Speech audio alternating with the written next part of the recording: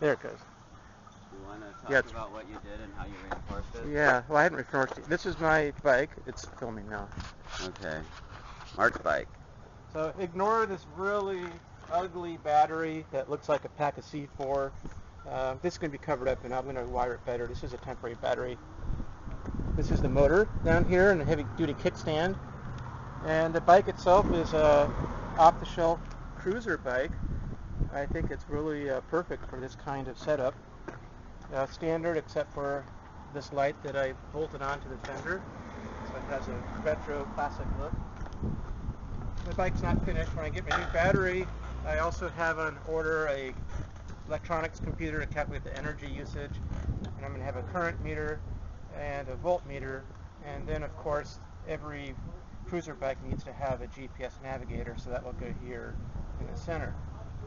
But for now, I'm going to test the bike out with a smaller battery pack.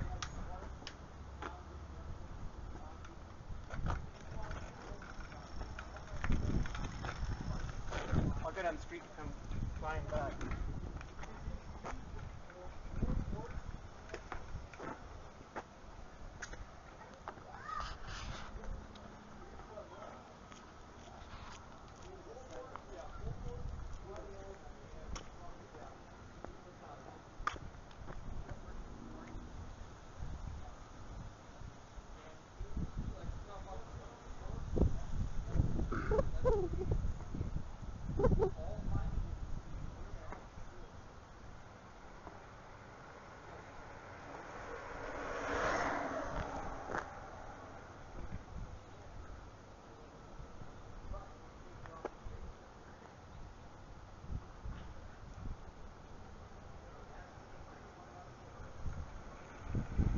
So that clocked in at 33 miles an hour.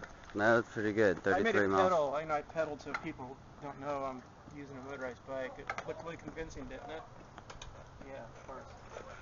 Okay, I'm going to take it and continue the film.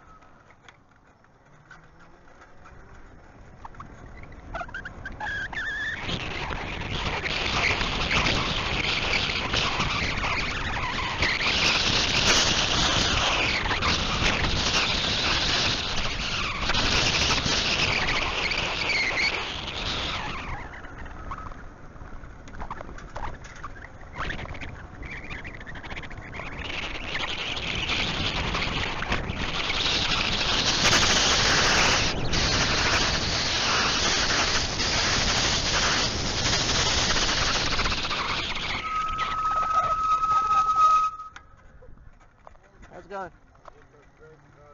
Yeah, they're about worn out.